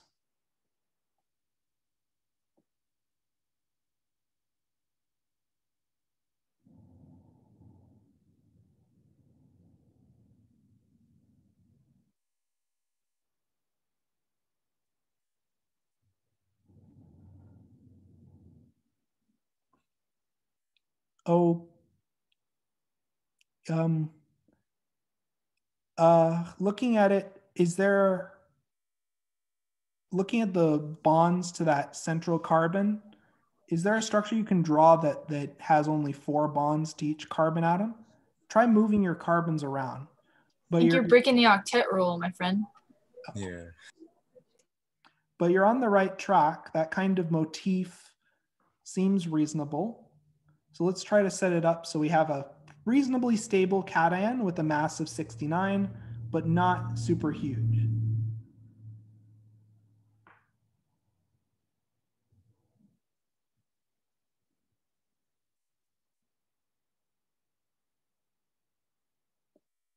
And really don't be shy. If you have a structure that looks odd, just try moving your carbons around until you get a viable structure.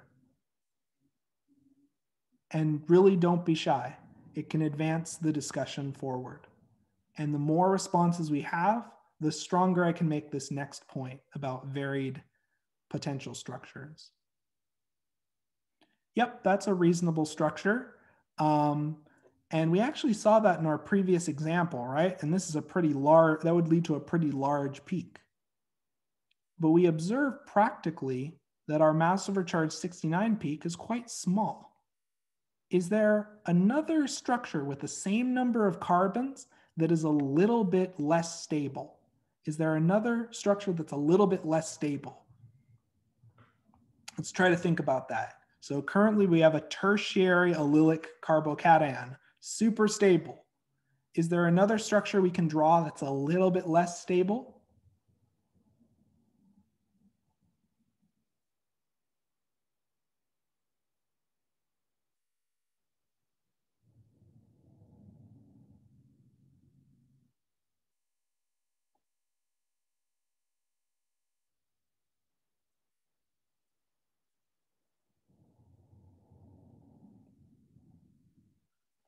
So what's the easiest way to make this carbocation less stable? What's less stable than tertiary?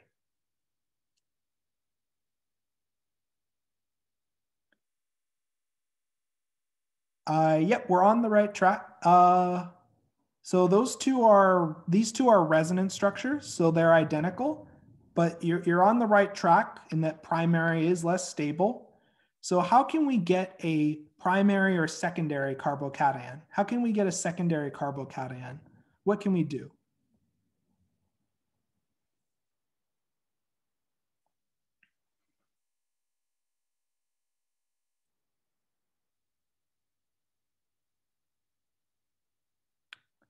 Sure. Yep. That that structure is perfectly reasonable. Uh, yep. That's that's all. This this this structure looks pretty reasonable. It's it's primary, but it's allylic. Is there another structure we can draw? I see someone typing straight chain. So something like this, maybe. Uh, wait, one more. One, two, three, four. Uh, sorry, one moment.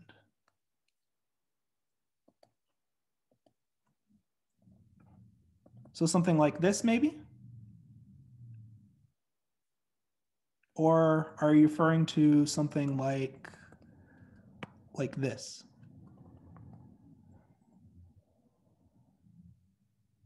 Okay, so the mass over mass over charge of 69 peak is pretty small. So it's great that we had all these responses. So what I'm going to do now is I'm going to rewrite these responses and we're going to analyze these further.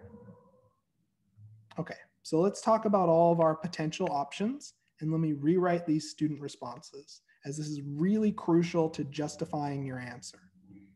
Okay, so mass over charge of 69. So it's a pretty small peak, right? So we have a few options proposed. So the first option proposed looks something like this. I'll call this option A. The second option proposed looks something like this. Uh, was there any one, was there another one that I missed?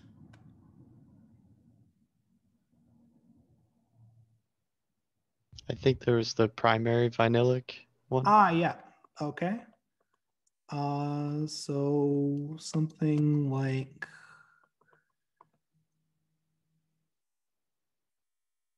like this?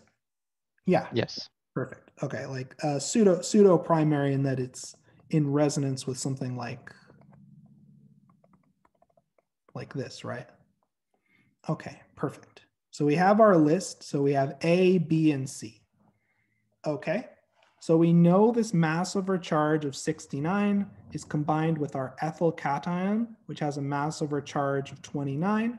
So all we have to do is just attach our ethyl cation at each of our carbocation sites. So we're just going to staple on the ethyl group. And that in turn gives us a few viable structures to work with.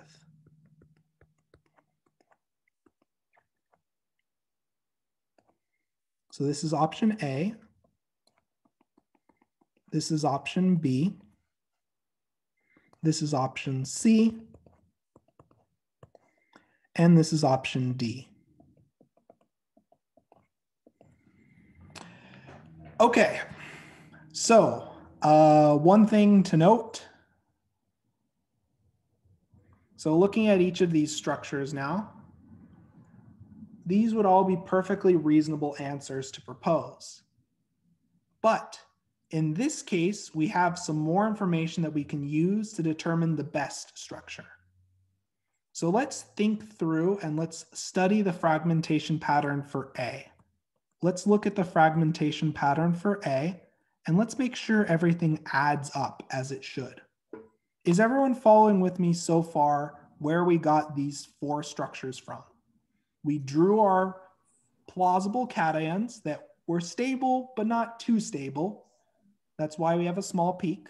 And we just attached our ethyl cation to these fragments. Does that make sense to everyone? Yes. Would the would the A uh, cation structure that you drew would that form a resonance so that the cation would be on a secondary? Yes, yes. So you can just you can also draw a structure E that looks like like this.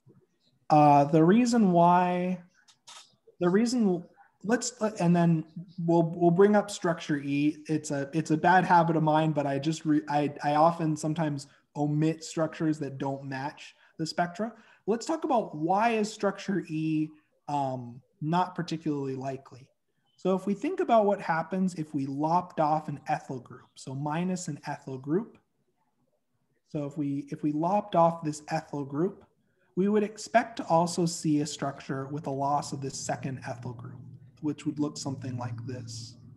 This has a mass over charge of 41.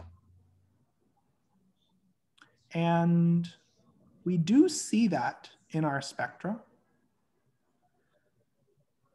The one thing that's a little odd to me is if we're lopping off multiple ethyl groups, right? Why is the ethyl peak so small? Right? Does everyone notice how this ethyl peak is really, really small? Right? Yes. Now, if we're lopping off two ethyl cations, right? Wouldn't we expect, expect to see a lot of ethyl group peak signal? Yes. Okay. So because this ethyl peak is small, this is likely not occurring, but it's not unreasonable to propose. Um, it, this this is this is sort of coming down to some subtleties associated with the structure. So Okay, that makes sense. So looking at structure A, so we know at first glance, so looking at structure A with our spectra right next to it. So at first glance, we can knock off this ethyl group. So we knock off the ethyl group. We see our ethyl cation, and then we see this fragment with a mass over charge of 69. Okay. Now from here, it's pretty easy to see how we can quite easily just get rid of another methyl group and end up with a fragment that looks something like this with a mass of over charge of 55. This is a second, this is a, after resonance, a secondary and allylic carbocation. So this is reasonably stable. So we'd expect to see a pretty large peak. Now, of course, some of these other structures also have their reasonably bright points. So for example, let's talk about reasons where we can deny or refute a structure. So let's talk about structure B. What, what, what is an obvious question when we look at structure B? So we've been obsessing over loss of this ethyl group. But what is an obvious fragmentation of structure B that is missing? What, what's a pretty obvious fragmentation pattern that is missing for structure B? So we can lose an ethyl, right? But what else could we lose? Could we lose a methyl? Yes. Okay, so let's entertain that. So let's suppose we lose a methyl group, we lop off this methyl group via some complicated fragmentation or just straight fragmentation. That's a reasonably stable cation, right? It's almost the same as the cation that we drew when we lost our, our ethyl group. Now, this fragment would have a mass over charge of 83, right? Do we see much of it? Do we see an appreciable mass over charge 83 peak? No. No. So it's likely that B is not what's happening here. It's not unreasonable. We can't rule it out, but it's not perfect. Okay, what about structure C? So structure C, we're just going down the list. Okay, we can just as easily lop off this ethyl group.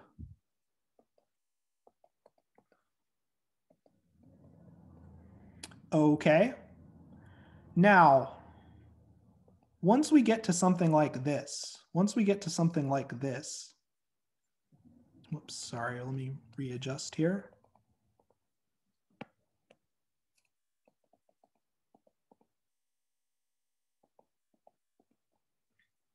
We can just as easily lop off another methyl group.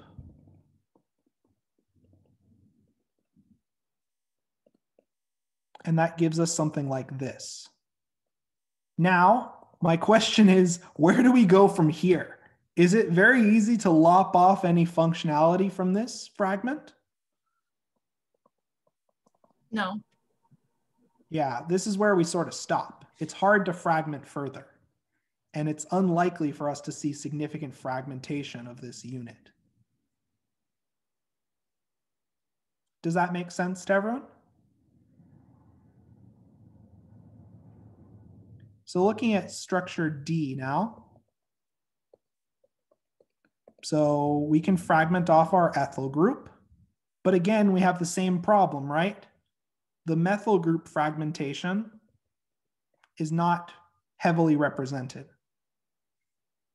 So we would expect to see a reasonably sized mass over charge of 83 peak if this structure was operative. So, of these structures, A is the most plausible, and A is actually the correct structure. So, the main thing that mass spectral data is useful for is for deductive reasoning. once you draw your structures, you can start to refute possible structures. You can start to cross out possible structures based on differences in fragmentation patterns. Now, of course, you'd stop here in most cases, and another structural determination method will pick up the slack. Um, but this is just to impress on you this idea that you have the tools to solve these problems, and you have the tools to really think about well, what makes this structure better? What makes this structure worse? And it's based on carbocation stability during fragmentation. Does that idea make sense to everyone? Does that discussion make sense?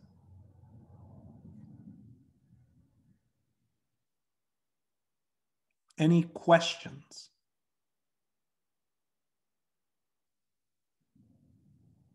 Oh, um, I think someone's muted when you're asking a question. Does someone have a question? Don't be shy to unmute. Um, I, if someone has a question, I think your microphone is muted.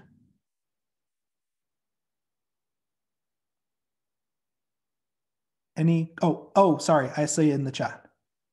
Ah, okay. Any other questions I can address?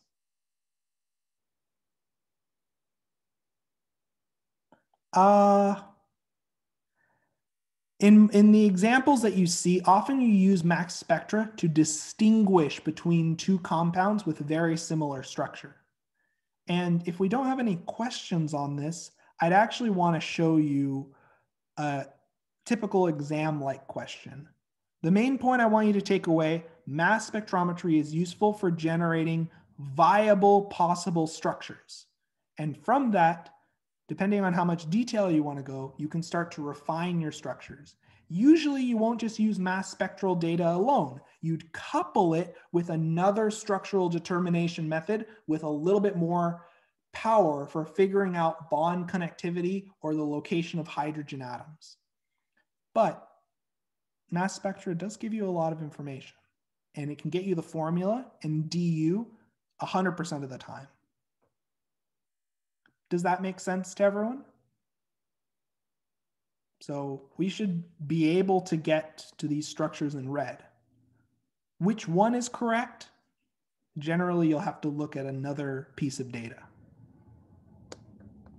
Does that make sense to everyone? Yes. Okay. So let's look at a typical exam-like question.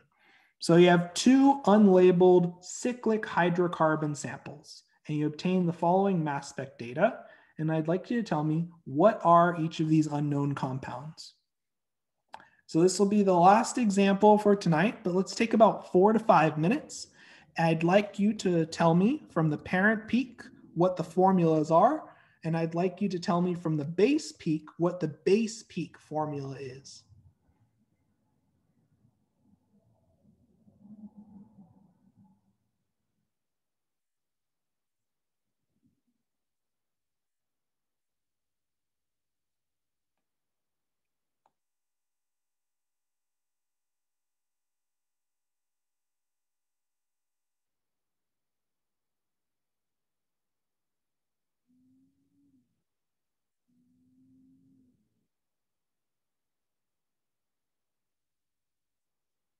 So does anyone have a proposal for any of the parent ion peak formulas?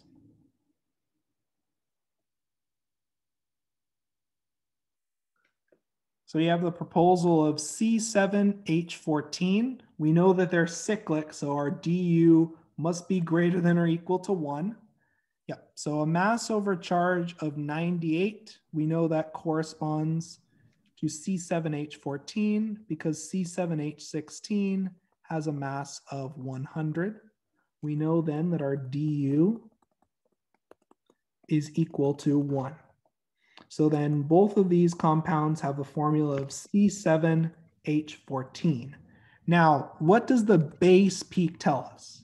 Let's look at the base peak for sample A and B, and let's try to get the formula for these base peaks.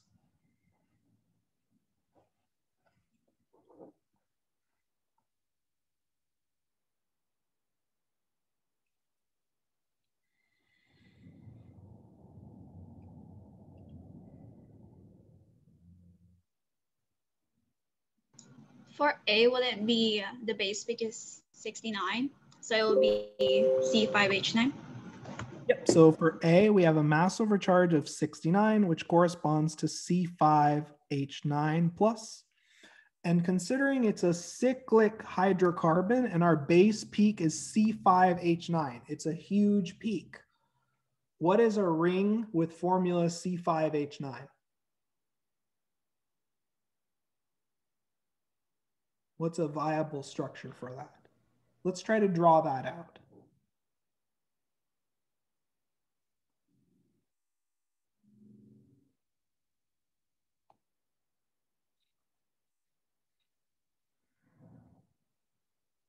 So C5H9, what's the only cyclic formula that that met what what's well let me rephrase. Cyclopentane? Yeah, cyclopentane. Or in this case, cyclopen cyclopentane cation. Yep, that's reasonable. Okay. Are there any other options that we can think of?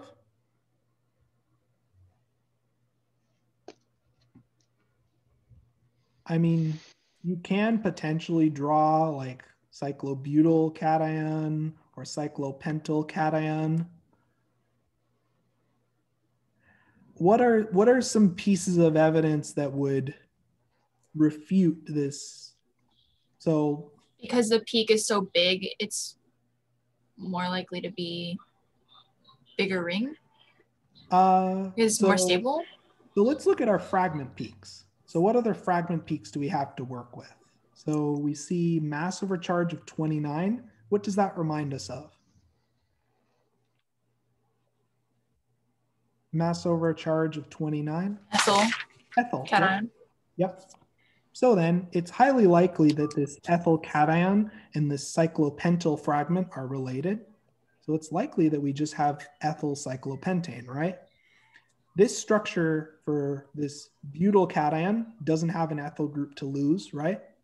And this cyclopropyl structure, if we had a cyclopropyl cation, let's just say, what's the, what's the the first principles issue with this? Are cyclopropyl cations very stable? Doesn't match the mass over charge? Uh, Cyclopropyl? Well, no, they're not stable. Yeah, so there are two things. First, the mass over charge is a little wonky for this, but also a cyclopropyl cation, it's a bit weird to invoke compared to a cyclopentyl cation.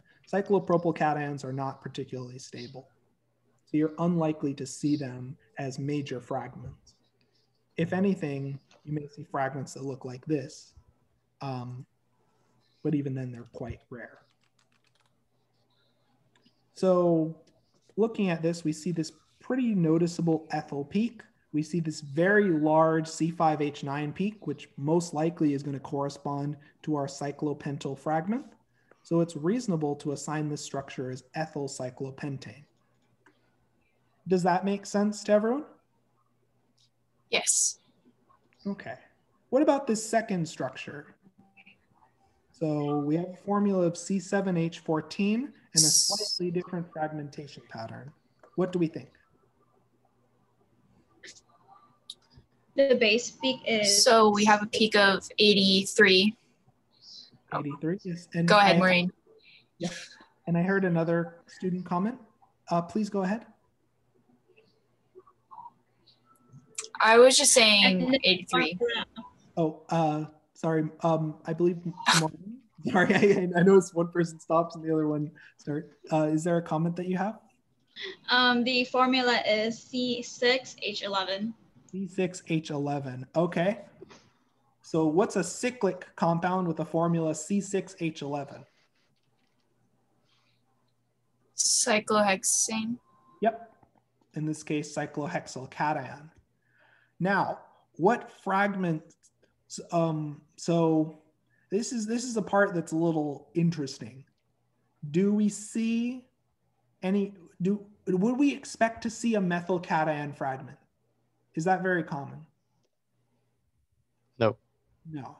However, what's the difference between our parent peak and our base peak? So what's 98 minus 83? 15. And what does that 15, what does that difference of 15 tell us? Methyl. Methyl cation. Yep, exactly. So all we have to do is put our two fragments together, and that gives us a proposed structure of methyl cyclohexane. Does that idea make sense to everyone? So the base peak is going to be your biggest help in solving these problems. Does that make sense to everyone? And generally, when you're dealing with drawing reasonable structures, keep it simple. Don't start drawing weird structures unless you're unless you have strong reason to believe it's a weird structure. So in this case, in this example, it's pretty obvious that we have a cyclopentyl, cyclopentyl cation fragment and a cyclohexyl cation fragment. The one thing that I want you to take away from this example is that the base peak gives you a lot of information. And you can support that by looking at your fragment peaks. Does that make sense to everyone?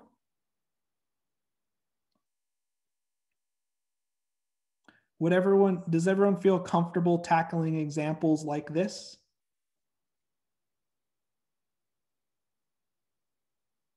We'll do some more practice on this and we'll start to cover some higher power analytical methods. I recommend looking through the examples in chapter 12 of your book. They have a few practice problems on this. But the key point I want you to, to know from this is that mass spectra is coupled with other methods. And we're going to come back to mass spectra once we've seen some other slightly more powerful methods of structural elucidation, which are IR and NMR, which are the next two topics we're going to talk about in this note set and the following supplemental note set. Um, so in terms of other questions, yes, we will be having uh, Chem at night. It would be, so it's the section, the timing that would work best for this section uh, is still gonna be Tuesdays from 6 to 8 p.m. And I'll be present most nights um, to answer questions. And we also have tutors present. And you'll see a follow-up announcement in Canvas about that once we have the exact time and the tutor schedules.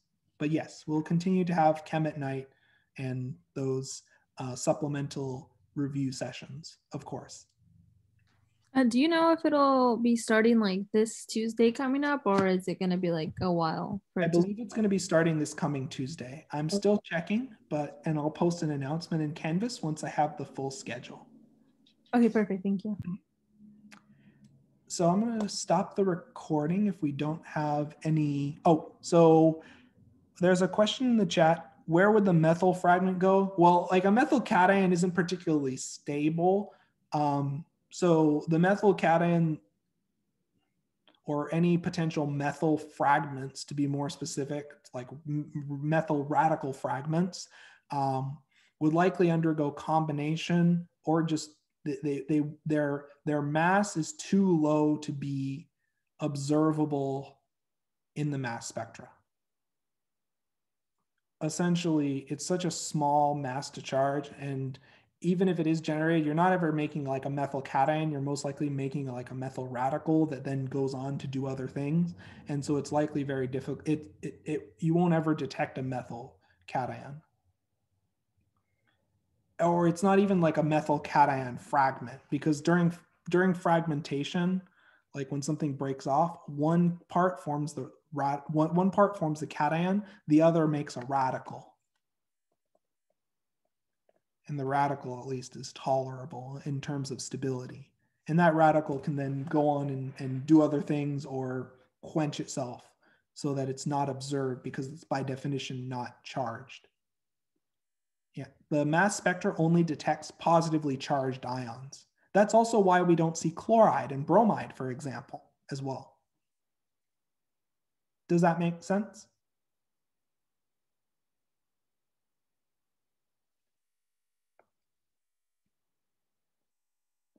Perfect.